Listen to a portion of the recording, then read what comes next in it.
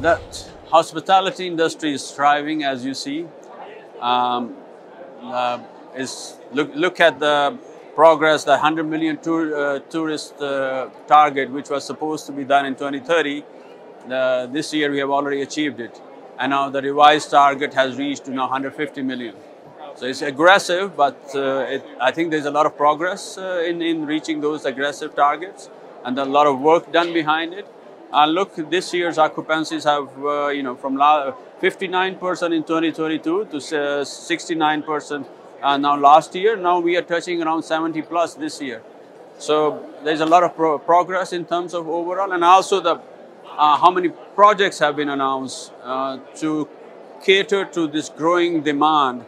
Uh, 150 million by 2030. You need rooms and there's a very well planned uh, programs behind where the rooms are also announced. Now we are reaching to um, where Knight Frank did a research and now we are touching now 320,000 rooms in the pipeline.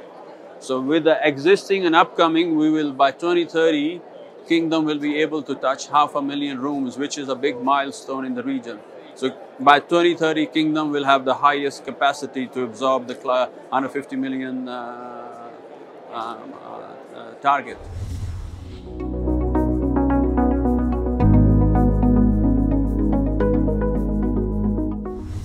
I think it, they are very uh, behind the scene, which we not the general public don't see. But uh, Saudi Tourism Authority, Ministry of Tourism, is uh, putting a huge uh, setup in the back and putting a lot of effort uh, to globally promote uh, Saudi tourism you go to ITB or you go to you know uh, London uh, tourism shows or New York investment conferences, Saudis uh, is is really promoting very aggressively.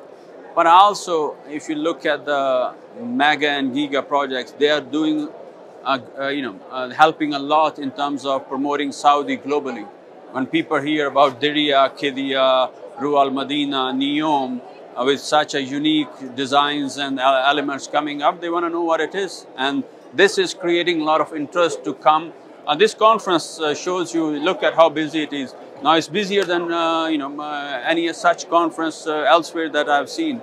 So that tells you how much attraction Kingdom is getting. So people are interested to, to get to know more and also they're willing to invest. Look how many investors are here.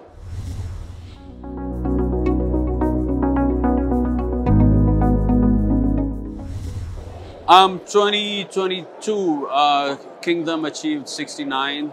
Uh, uh, 23, um, uh, sorry, 20 uh, from uh, 63 to 50, 69, and now year to date we are crossing 70. So I think it is gradually progressing. It's the, just a matter of if the region is stable. there's no reason why not exceed last year numbers.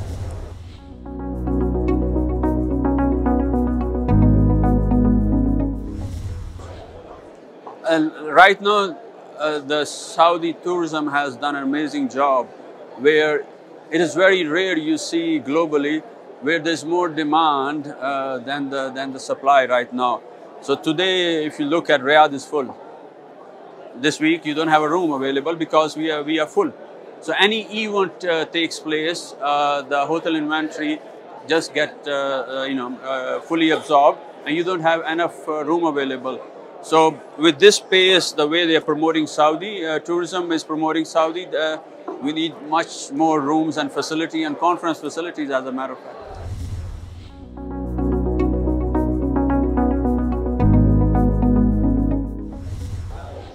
And now we have around 140,000 plus, uh, with another 320,000 in the pipeline. So by 2030, hopefully, uh, we will have around half a million, closer to half a million. That's the number that the Ministry of Tourism is targeting towards.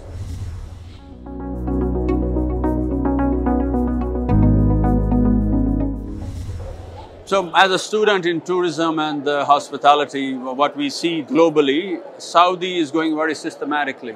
They're not focusing only on the main cities, they are gone second tier city, third tier city, they are developing they're developing airports. 13 airports are under development. The mega airport in Riyadh is, uh, has started, uh, you know, uh, the construction has started. Uh, so all the fundamental airline has been announced, which will be with announcement of the touching around uh, more, more destinations than what uh, uh, Emirates is touching today. Uh, so all the fundamentals are very strong. Uh, cruise ships tourism, cruise tourism, they're activating that as well. So all the fundamentals are in the right directions. So if you have fundamentals right, nobody is stopping you because globally already the uh, main destination are saturated. There's over tourism. World needs new tourism. And for Middle East, we need diversity. Uh, we have seen Dubai, now we want to see some nature, we want to see some, some different elements in the region. So I think Saudis has tick mark every fundamental requirement that is needed to be a true tourism destination. Thank you very much. Thanks for having me.